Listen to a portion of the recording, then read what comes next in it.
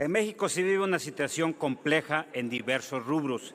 Sin embargo, el relativo a la seguridad pública es la que más afecta y lastima a la población mexicana y que si bien no se puede ser atribuible a un solo gobierno o a una sola administración, sí se puede sostener que se ha ido recrudeciendo en el gobierno actual.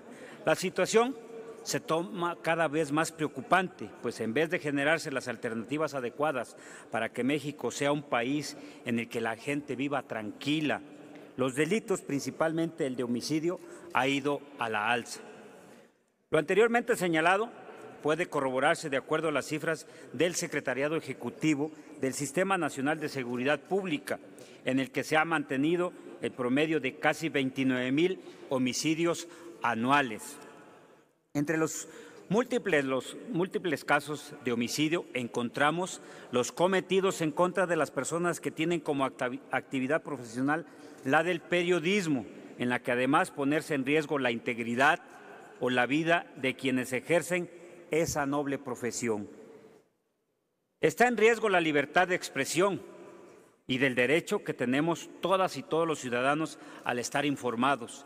Es importante mencionar que de acuerdo con lo establecido en el artículo 6 de nuestra Constitución Política de Estados Unidos Mexicanos, la manifestación de ideas no será objeto de ninguna adquisición judicial o administrativa, sino en el caso de que ataque a la moral, la vida privada o los derechos de terceros, provoque algún delito o perturbe el orden público.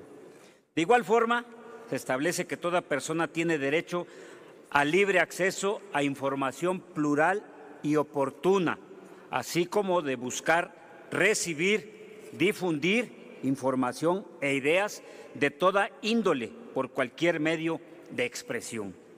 No obstante, lo dispuesto en nuestro máximo ordenamiento, las autoridades no han encontrado la forma en cómo hacer frente a los delitos cometidos en contra de las y los periodistas.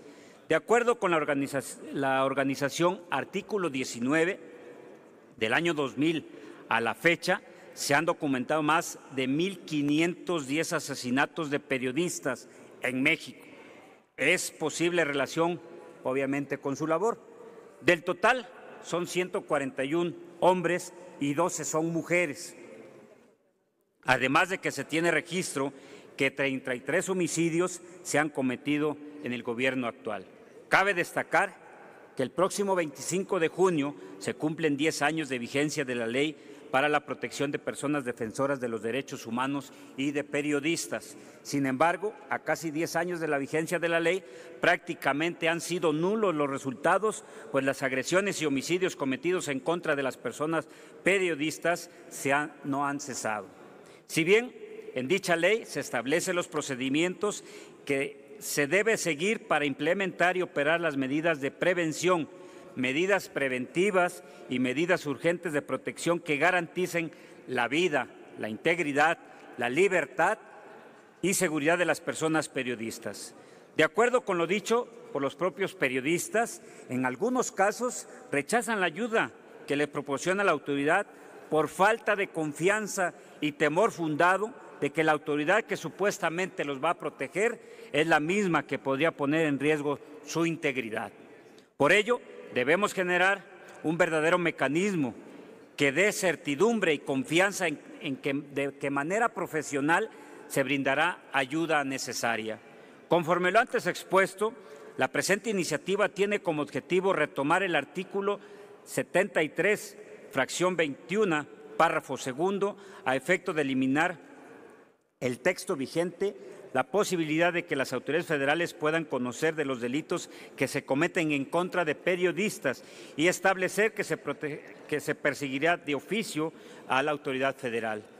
Bajo ese contexto, la presente iniciativa se contemplará con otra que tiene por objetivo derogar el artículo 21 del Código Nacional de Procedimientos Penales, toda vez las autoridades federales al asumir la investigación de esos delitos, ya no se hace necesaria la vigencia de dicha disposición.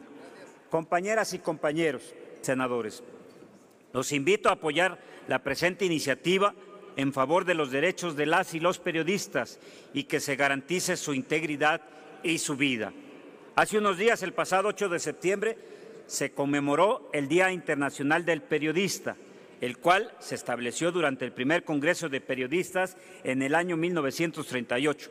Por ello, la importancia de la presente de esta iniciativa, pues debemos de garantizar que el derecho a la información no se vea amenazado por las compañeras y compañeros que nos informan día con día. Es cuanto, presidente.